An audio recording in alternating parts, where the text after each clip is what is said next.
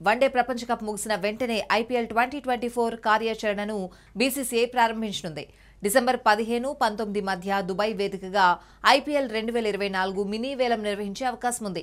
ఇప్పటికే మినీ వేలానికి కావాల్సిన ఏర్పాట్లపై ఐపీఎల్ గవర్నింగ్ కౌన్సిల్ ఫోకస్ పెట్టింది. ఫ్రాంచైజీలకు మినీ వేలానికి సంబంధించిన సమాచారాన్ని అందజేయడంతో పాటు రిలీజ్ రిటైన్ చేసుకున్న ఆటగాళ్ళ జాబితాను నవంబర్ పదిహేను లోపు అందజేయాలని ఆదేశించింది.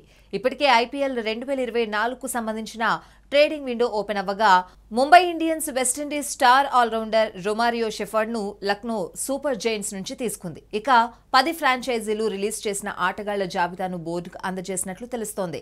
విశ్వసనీయ వర్గాల సమాచారం మేరకు పది ఫ్రాంచైజీలు తమ స్టార్ ఆటగాళ్ళకు షాక్ ఇచ్చాయి భారీ ధర పలికిన Jofra Archer Ben Stokes Harshal Patel Andre Russell Prithvi Shaw వంటి స్టార్ ఆటగాళ్ళను వదిలేసినట్లు తెలుస్తోంది. Kyle Jamieson Sisanda Magala Simranjeet Singh Shaikh రషీద్లను కూడా చెన్నై సూపర్ కింగ్స్ వదులుకోనుంది. ముఖ్యంగా ఇంగ్లాండ్ వెస్టిండీస్ శ్రీలంక ప్లేయర్లను వదులుకోనున్నాయట ఫ్రాంచైజీలు.